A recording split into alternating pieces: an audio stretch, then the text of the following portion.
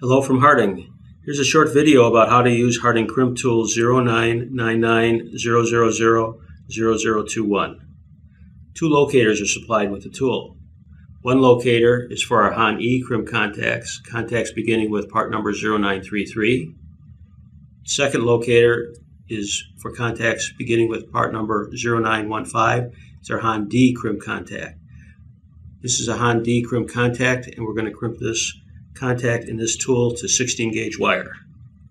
First of all, select the correct locator. In this case, it's the D locator with the D at the end for the Han D crimp contact.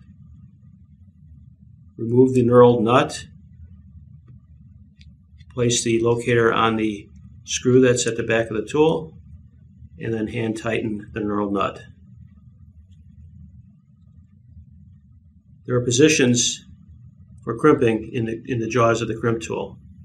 And also there's wire gauges noted on the side of the crimp tool. For 16 gauge wire, we're going to pick the center position, which is marked with a 16. Metric wire sizes are also referenced on the tool. To begin with, we take the male crimp contact and insert it into the center position of the tool for the 16 gauge wire. It's helpful to close the tool slightly to stabilize the contact so that it's simpler to insert the wire. Once you insert the wire, you complete and close the tool completely because it won't open again unless it's completely closed and you've made a correct crimp to the contact and the wire.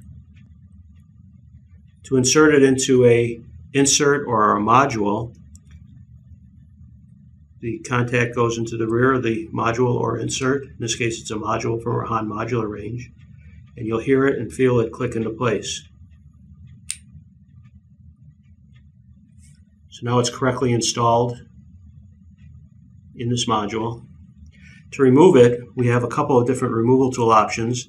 The simplest and least expensive is crimp tool part or removal tool part number 0999000 0052.